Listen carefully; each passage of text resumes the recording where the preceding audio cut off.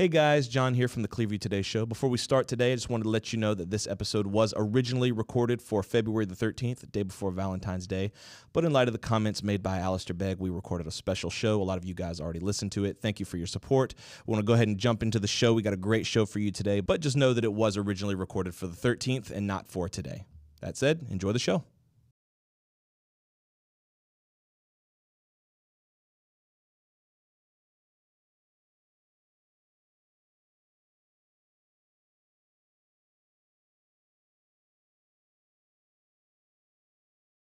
Hello, everyone. Today is Tuesday, February the 13th. I'm Ryan Hill, I'm John Galantis. and you're listening to Clearview Today with Dr. Abidan Shah, the daily show that engages mind and heart for the gospel of Jesus Christ.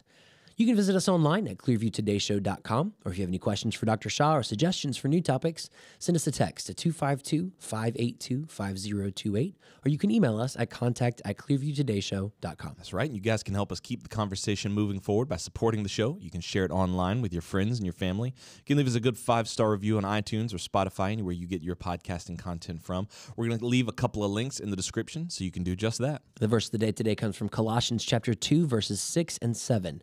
As you therefore have received Christ Jesus the Lord, so walk in him, rooted and built up in him and established in the faith, as you have been taught, abounding in it with thanksgiving. You know, we want to be established in our faith. What exactly does that mean? Does that mean we never make mistakes or we just establish ourselves, we root ourselves, as it says, and that we never have to change? Of course, that's not what it's saying. It's saying that you are so secure in your salvation. You are so secure in, in the blessed assurance that Christ has given you that now you have the freedom to grow. You know what I mean? You have the freedom to bloom where you're planted, as, as you know, Dr. Shah would say. Yeah, and it's a daily thing. Notice there it says in the middle of the verse, so walk in him. it's right. not just one step, it's not a one time thing. You are daily walking in him. And sometimes we're going to take steps off that path. Sometimes we're going to take steps backward. Sometimes we're going to just be at a standstill. But the goal is that we would continually be growing, continually be moving forward in our walk with God. That's right. Everything is changing around us, man. Everything is changing around us. The world that we grew up in in the 90s, I grew up in, in uh, 92, it's not the same world no more. Lots and lots of things changing. I'll tell you one thing that remains the same Mm-hmm. it's Tuesday.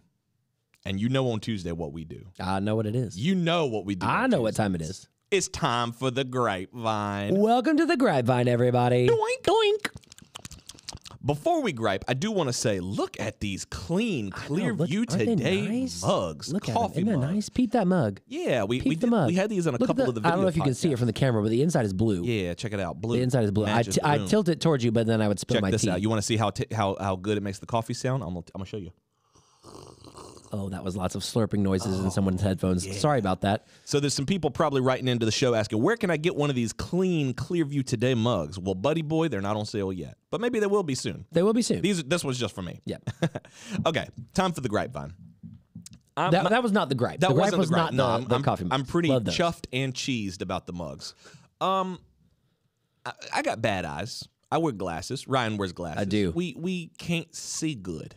Our eyes don't. My work. eyes, especially, like I have not problems, but it's harder at night too. The Lord has created us in His image, right? But because of the but fall, because of the fall, my eyes have fallen. I can't see. My eyes are sinful. So the doctor, the eye doctor, actually told me that I, by the time I'm like 40, maybe in my mid 40s, I probably will not be able to drive at night. And I was like, Really? That's kind of extreme, right? Wow. And you know I, who's might, not? I might be right there with you. You know who's not making it any easier? People with big, bright, blue headlights. Oh my goodness. Why do y'all do that? I can't stand it. Why do y'all do I that? hate it. Th- So first and foremost, if your headlights are too bright, like if you're driving big trucks, uh, go ahead and, and just know that even your low beams are, are kind of a much. Don't put the high beams on and blind it right in my face while I'm driving. There, there are some headlights that are just naturally brighter than Mm-hmm. others. And I'm not telling you not to have headlights where you can't see. Obviously, you need to be able to see, but you don't need to be able to see like the next county. Some people just don't even. They're like, oh, I didn't even know. I didn't even know my headlights. Yes, you did. bright." Yes. you did. When you swapped out the ones that came with your vehicle for new upgraded headlights, you knew what Yeah, you and doing. you and you like you put your high beams on, and suddenly you can see so clearly that you, like you can see the future unfold before you. you know exactly that your headlights are too bright. You're shining it right into other people's If face. your headlights are bright enough that you can see tomorrow, that's too much. also, why are some headlights blue now? What's up with the like? I know it hurts my What's eyes. up with like the the cool lighting? It hurts my eyes and it comes up but very nice it comes up behind the car and it fills both the side view mirrors and the the rear view mirror so i've like like bright headlights reflected at me when you're behind me I always think it's I a don't cop. like it. I always Yeah. think it's a cop for some reason. Yeah. I don't know. The the bright headlights are just too much because already nobody likes driving at night. It's Yep. it's nighttime. We're tired. We want to go home. But then you got these big bright headlights, and I don't know what's worse when they're coming towards me or when they're behind me. Because at least when they're coming towards me, I know all right they're gonna pass me here in a second. I flash the lights them. I'll be like, hey, I flash the lights. Sometimes I beep the horn, but then I get scared. But here's the thing, though. Like, not, sometimes it's not even their high beams. That's just their regular lights. So there's nothing they can do about it. Yeah. It's just like beep bop along. it's just it, it's just a lack of self awareness. That's my gripe for the week: bright headlights. And if you're listening and you're someone with bright headlights, I mean, I'm I'm griping about you. And don't mean I don't like you. And please don't drive behind me. Yeah, don't drive behind me, man. Don't don't see Please my don't do Clear- that. my little Clearview Today sticker and be like, oh, that's John. I'm gonna blind him on John, the road. John and I are in our 30s. Okay, we're we're on the road to poor eyesight later in life. We just already don't help us. Don't help us get already there can't faster. See good. I can't see good. My old bones, they're brittle, man. My eyes, they're not what they used to be. I thought you were gonna say your eyes were brittle. they're brittle like this, like That's a peanut brittle. problem. When I blink, little flakes fall. Oh no, something like scales fell from his eyes. you know, Pastor Shah's got a big truck. I bet his headlights are pretty blinding. I bet he. Yeah, but I don't know that he has the same kind of headlights. Let's check in with him and see what he uh, what his feelings are on headlights. I, I wonder if it's like if this is a thing that's unique to America or if there are headlight problems in He India. as drives so infrequently. Like every time I ride with him, David or Nicole drives. At least in the van. I don't really Yeah. drive in his truck. his truck anymore. his truck isn't. I feel like super offensive as far as Are the lights go. 15 passenger vans that we drive? Are they? Do they got really bright headlights? No, no, no, they're just normal, I got you. just normal headlights. yeah. Write in and let us know what your take is on the headlights. Write in and let us know if you're one of the people who has bright headlights, and give us a defense. Give us a reason why. If we can hear a reason why, maybe we'll relent from the. Yeah, that's the other thing. Like like with big souped up trucks, it's like why? What re- what does it serve you? Yeah. it doesn't it doesn't look good. It's loud. Everybody hates it. Maybe that's a, that's its own gripe, but it, it just serves no purpose. Defend your headlights to us. I'll give, we'll give you the opportunity to do that. Write in and let us know 252 582 5028, or you can visit us online at clearviewtodayshow.com. Stay tuned. We'll be right back.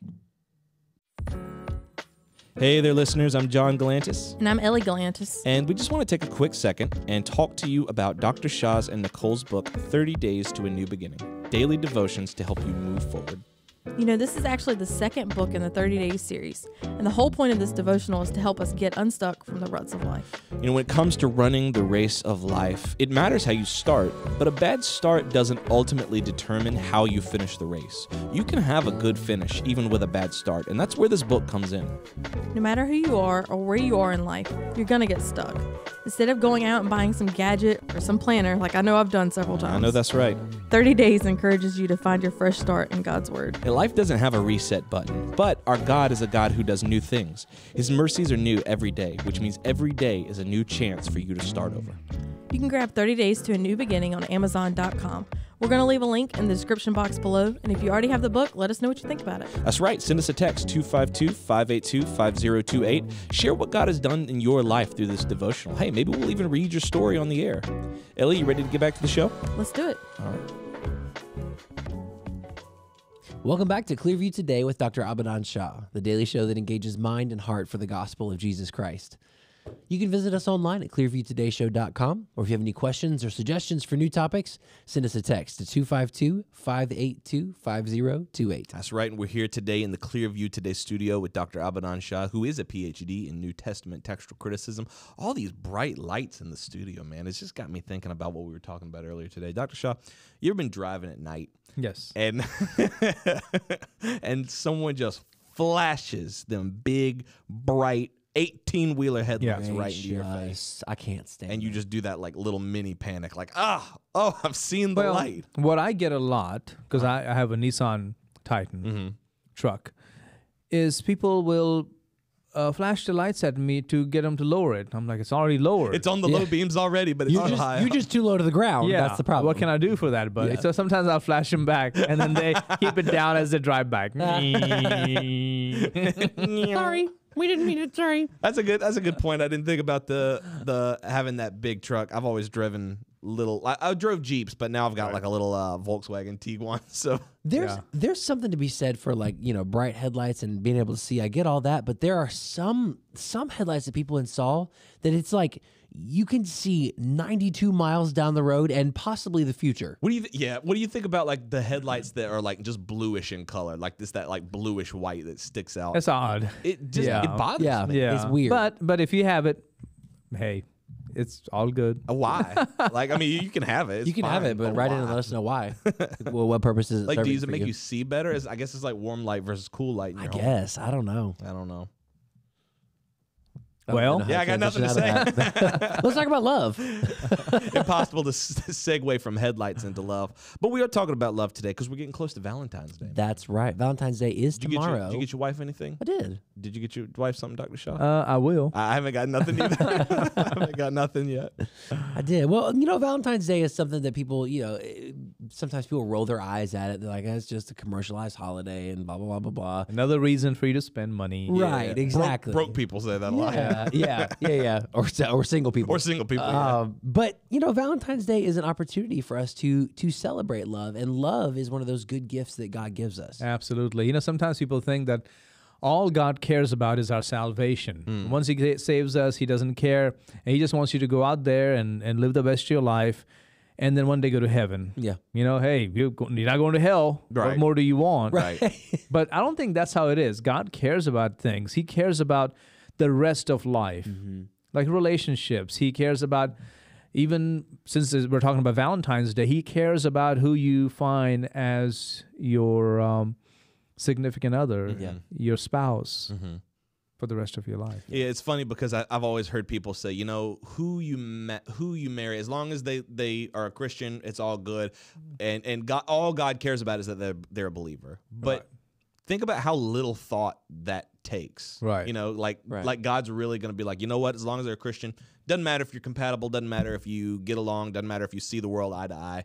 Just make sure they're a Christian. yeah. It's like I don't see God taking that cavalier of an attitude of how we actually live our life. Right. God doesn't act that way about anything else. Right. He's, he's a God of order, and he's a God of you know he's outside of time. He plans. He's sovereign over everything. So for him to just be like, eh, just pick a Christian, like that doesn't that doesn't Yeah. translate. But I've heard that though. I've heard people even tell me that when I was young, when I was looking for a girl, they were like, "All that other stuff doesn't matter. All that matters is that she's a Christian." I'm like, I mean, I agree that's important, but shouldn't I like her? Yeah. Should we Yeah. get along? Should Yeah. we have fun? Should Yeah. we not have a fulfilling life? If you want, if you want, but God doesn't care about. it. Oh, it'll all stuff. come to you. It'll all happen. Yeah. Yeah. And that's not true. Right, right. Well, I wanted to talk about it a little bit today as we're going towards uh, Valentine's Day because I think it's something that people still in 2024 struggle with. I Right. mean, I guess you're always going to struggle with relationships. Right. There's never, never going to be a solution to that. Well, the passage that comes to my mind is that about God caring about our relationship is Romans 8:32, uh, where Paul says, "He who did not spare his own son, uh, but delivered him up for us all, how shall he not with him also freely give us all things?" Now think about that. Freely give us all things, and in the all things, I believe there's also the relationship Yeah. we want for life. And so, yes, God cares about relationships and He wants the best for us. Yeah. He does. I think what what what helps me is knowing that God really wants to draw us closer to Himself, and He doesn't want just me. You know, Yeah. He wants every part of my my spouse, Yeah. my kids, my family, um, being drawn closer into Him, and and letting my marriage get to be part of that. Right. You know what I mean? Rather than be like, all right, I want you to draw close to me, your marriage, all that stuff, it's yours to manage Mm. rather and and that's up to you to kind of manage that but don't forget me i think it, it has helped me to say that my marriage and my family all that is drawn in at the same time it's Right. all drawn in together That's right. That's Yeah. right. Well, let's go back and look at it because the first relationship happened because God uh, saw something that was missing Yeah. in the man's life. that's true in Genesis uh, chapter 2:18 and the Lord said it is not good that man should be alone I will make him a helper comparable to him Mm. it is not good now seven times God said it is good right it is good and then it is this one time God said it is not good Yeah. that's the, is that the first time that he said that it's not oh good? yeah wow first time very first time it's against the seeing seeing Adam, you know, he has the garden, he has the world, he has animals, and yet there's something missing in his life, and the something was companionship Yeah. on an equal level. The animals didn't do it. Yeah. Mm. I mean, you can chase that monkey around for only five, so long.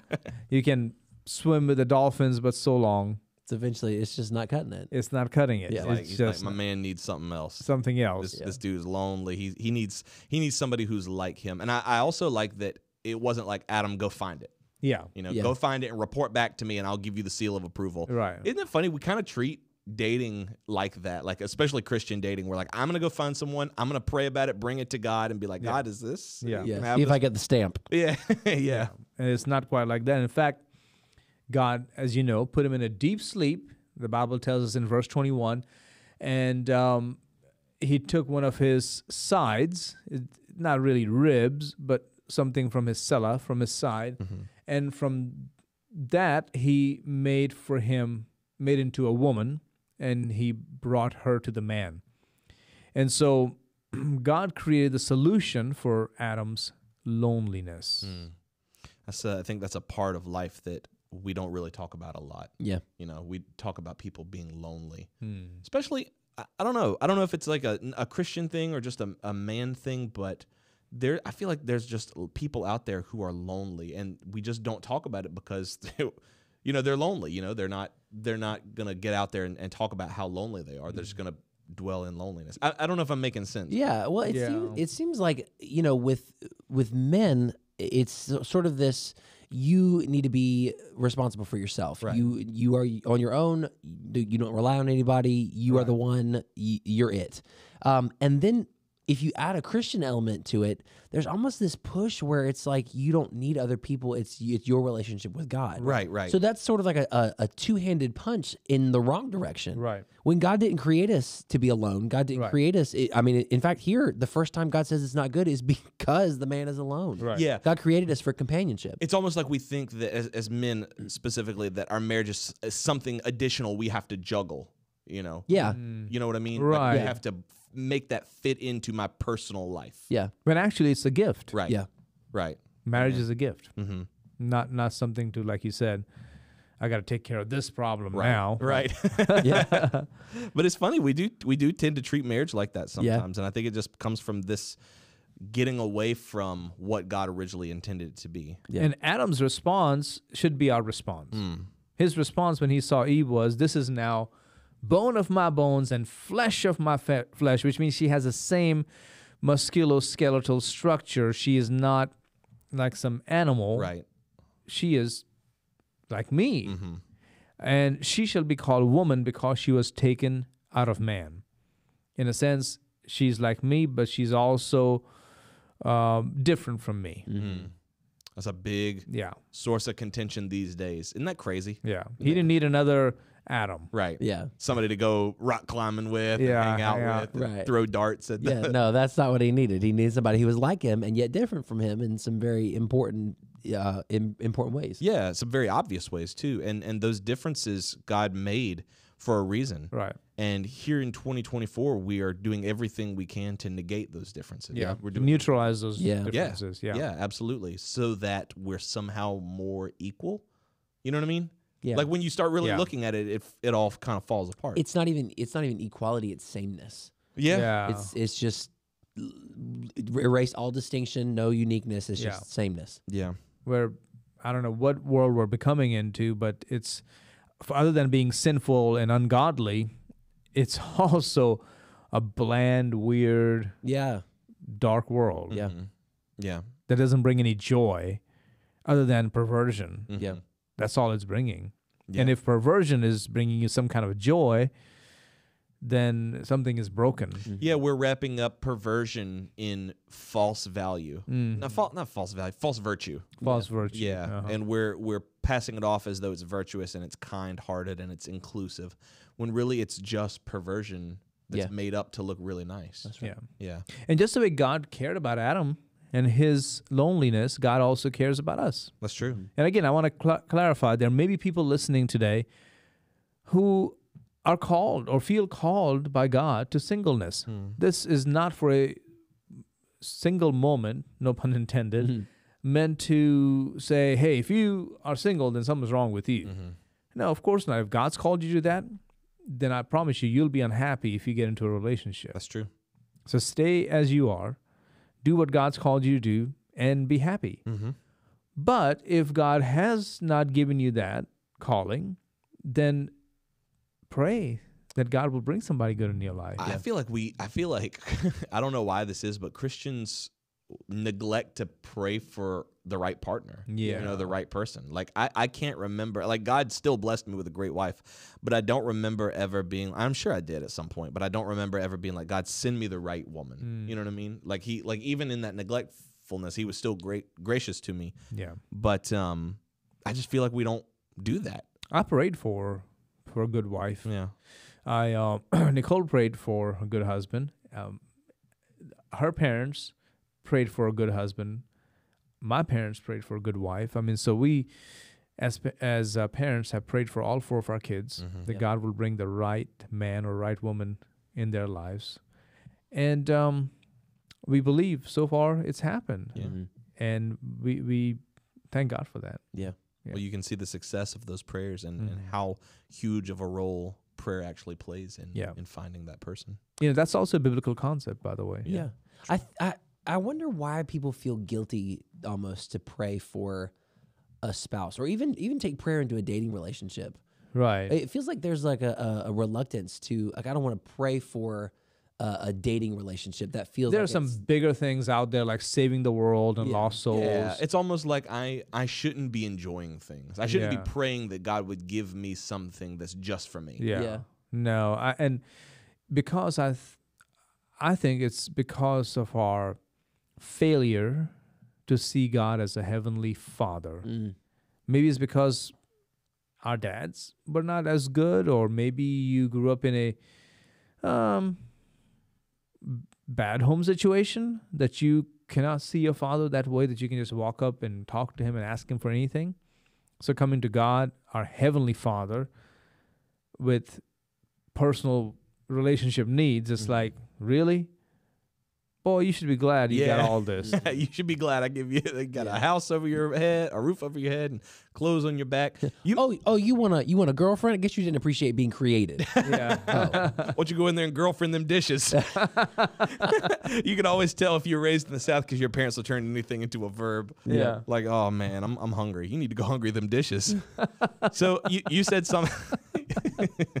you said something that uh that that kind of struck me, and, and I want to see if this is this is something that you, that you feel because you said you prayed for each of your kids, yes. and I feel like looking at it, zooming out, parents, especially Christian parents, almost have a hands off approach Yeah. to, ha- to their kids. We've seen that too. um, Yes. their kids' dating lives, I Yep. guess, or, or Well, i- it's it's sometimes it comes out of a place of frustration because you hear the bad stories, like the parents were too involved in their kids' relationship lives, and so the kids were all just frustrated and they just you know they just had it in it. It was just too much, and so then another group of parents will say, you know, I just don't want to make the same mistakes that they made. right. And so well, I'm I'm not going to get involved in my kids' lives. Mm. I'm just going to be there, supportive and helpful, but I'm not here to. So, I don't know what to say. I'd rather try to help them, guide them, pray for them. If I see some glaring problems, and really speak out instead of after the fact. Well, honey, I didn't want to tell you that, but you know, I knew this was going to happen. Mm-hmm. No, tell them and Yeah. say, hey, there's something wrong here. Yeah. Or this young man is not the right one for you. God will send the right boy for, in your life Yeah. or a girl um, in your life. Depends on, you know, you're talking to your boy or your girl. Yeah. Some parents just take a hands off and feel like, I don't want to step into that area because that, but isn't that the most important That's what saying. I was salvation? gonna say, it, you know, it, it makes me think of all the times we've we've sat and talked about uh, development and uh, in our in our series through the different generations. Right. Um, if you're looking at the teenage brain, Yeah. the teenage brain um, develops in such a way where their capacity for emotion outpaces their capacity for logic and Right. reasoning. Mm-hmm. So through the teenage years, they still need p- parents to come alongside Guide them, them. and guide them and help them think because sometimes they think with their emotions and not their brain. It- and it's funny because a lot of those same parents will ha- have no problem taking a hands-on approach in what sports they play or what colleges they had Yes. they, uh, Yes. they apply to. Like they'll be like, "Hey, I'll I will decide what sports you play. I'll decide what college you." d- Right. But who you're going to spend the rest of your life with? Hey, Something something Ah, so you gotta pick like that you- one, man. Yeah. who you're going to be married to forever. Yeah. Like no, I'm sorry, I'm going to be involved in that decision for you. Like Yeah, I'm and going it's help an, guide that. it's an unpopular job. Yeah. It's an unpopular job. You will not be loved for it.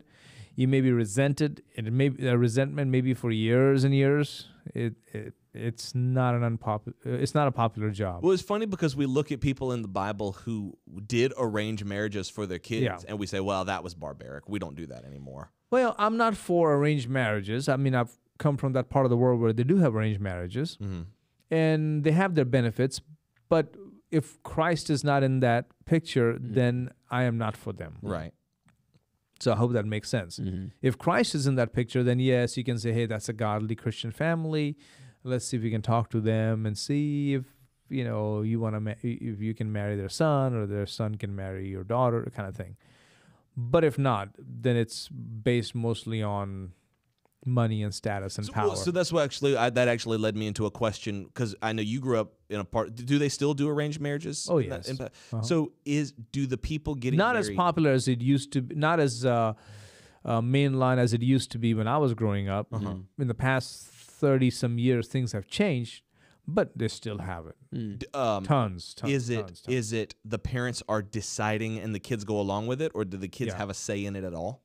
Kids do have a say, but how much depends on how educated the parents are, Mm. how much depends on how um uh, what's the word I'm looking for? The parents need to be a little bit more advanced, not old fashioned. Yeah. So is there, there? So there are there would be situations where it's like the the bride is like, "Hey, I really don't want this, but mom and dad want it, so it's happening." Mm-hmm. That's that's common. Oh, you will marry this boy. Wow, It's good for the family. It's good for this and good for that. wow. In time, they end up loving them or whatever, whatever. I get it, but poof. yeah.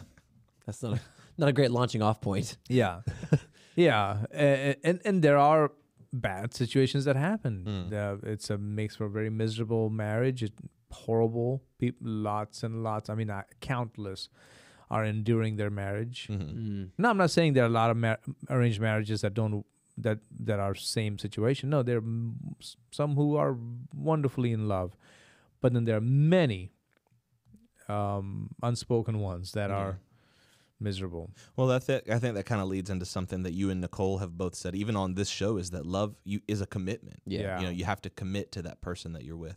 That's right. Like Abraham arranged that marriage for his son Mhm. Isaac Mhm. with uh, with Rebecca, but then he had to make a commitment to her, Mm-hmm. And that commitment was for life. And of course, they uh, they they made it. Yeah, I even think about like um, who is it? Uh, Jacob and um, Rachel. and Rachel. Rachel. Yeah. Well, poor guy. He was he tried. duped duped into Oh, man. marrying Rachel's older sister, What was it? Leah. Leah. Yeah, yeah, yeah, yeah. yeah. Yeah. Poor Had to work for seven years and then gets the wrong sister and has to work for seven more years. And gets the Yeah. right one. That's Like a tough break. 14 years later. He's like, bro, I, I see a, like a trick on sitcom. He's like, comes out, he's like, bro, you tricked me, and he's like, Did I do that? did I, Golly. Did I Uncle do? Laban. did I do that? Well, that's what we do around here. Did Yeah. you know that the custom? You didn't know. This would be so. This would be so wrong if we gave you the younger daughter before the older one. I mean, don't you understand? Yeah, I thought you. I thought you knew. I, I, I didn't know what was going on. I thought you knew that. Why would you tell me? that? Why did you tell me that? tell me that first. But he still committed. He still made that commitment. You know what I mean? He I did. think Yeah, he that's did. what's that's what's incredible about that story is that Jacob is like, you know what, this this shouldn't have happened, but I'm gonna Yeah. commit myself to And working. and in our culture today, we can't overstress the importance of commitment because Yes. marriages have become disposable. right. That's Yeah. right. It's just kind of like, oh, this one didn't work out. Yeah. Well, you know, we'll just get a divorce and try again. I told somebody this morning that when it comes to technology, when it comes to so many opportunities, the West is so far superior to hmm. the East. But the one place that we are severely handicapped in the West is our home life, Mm. our marriages. Yeah. because it's broken. They're broken. Many of them are. I'm not saying every one of them, but many of them are. It it puts our young people, it puts our future at such a disadvantage. Mm-hmm. I'm not saying that if you went through a broken home or divorced home, or uh, you know, I'm not here to offend you. I'm just trying to tell you, using the names that people use now, broken home, divorced home, whatever you like, Right. um, that that you're not going to make it or you are handicapped. No, not at all. What I am saying is, it, it doesn't help. Mhm. It does not help. You can make it. You can do great things. Sometimes you'll do better things than even those who grew up in an intact home. I know that. Mm-hmm. But overall, overall, it's not good. Yeah. It's a commitment. Make commitment for life. Do what you can to make it work. I think you instilled that in in me and Ellie when we were when we were dating here and we did our premarital counseling. I remember you made the comment that it was like you know when Nicole and I got engaged, we decided early on that divorce wasn't an option. It's not mm-hmm. on the table. So there's there's no way out of this marriage, and that helped us great. deal. And and I can say almost me and Ellie have been married like eight, almost going on nine years now. That's helped us. That's been that long. huh? Oh yeah, yeah, And, and I I remember that. I, I think with you, it was it wasn't an offhand comment, but it was just talking. Yeah. But it stayed with me all these years. Mm-hmm. That no matter what happens, divorce isn't an option. Yeah. Right. Even if the worst should come. Yeah. Right. You know, and that's helped me. Make a commitment for life. That's right. So those are some some suggestions today. Uh, work on your marriage. Um, use Ephesians five twenty five as your model. As you know, Paul said, "Husbands, love your wives, just as Christ also loved the church and gave Himself for her." That's right. Mm-hmm. So we as husbands should take the lead in showing love. No matter what's happening on the other side, you do what's right. That's, That's right. right. So important for us. Such a great setup for Valentine's Day tomorrow too. So make Mm-hmm. sure, uh, make sure you go out and take care of your spouse on Valentine's Day, whatever that looks like for you. Whether it's flowers, whether it's chocolates, whether it's just a simple card telling you, telling them that you love them.